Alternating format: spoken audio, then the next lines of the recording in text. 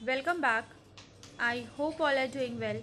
So, I am Neha Sethi. Welcome to share market with Neha Sethi हम बात करेंगे मिष्ठान food share के बारे में जानेंगे फ्राइडे को कैसी परफॉर्मेंस रही शेयर की और क्या लेटेस्ट ऑफिशियल अनाउंसमेंट है और क्या नेक्स्ट टारगेट आप मंडे के लिए इस शेयर में देख सकते हैं तो फ्राइडे को क्लोजिंग दी है 8.42 पे minus zero point one two percent का दिया है नेगेटिव रिटर्न इसका फिफ्टी टू वीक हाई है fifteen point four eight and low है सेवन पॉइंट नाइन ज़ीरो अगर हम बात करें फ्राइडे के परफॉर्मेंस की तो शेयर में जो वॉल्यूम देखने को मिला है, वो है ट्वेल्व लाख का।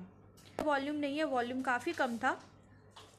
सो ओनली ट्वेल्व लाख का वॉल्यूम देखने को मिला है एंड इन्वेस्टर्स ने डिलीवरी अच्छी उठाई है सिक्सटी नाइन परसेंट की। प्रोमोटर होल्डिंग शेयर की शानदार है 49.77 परसेंट दिसंबर क्वार्टर का रिज़ल्ट अच्छा आया है 13.70 करोड़ का प्रॉफिट आया है और सितंबर में जो प्रॉफिट था, वो था 11.06 करोड़ का।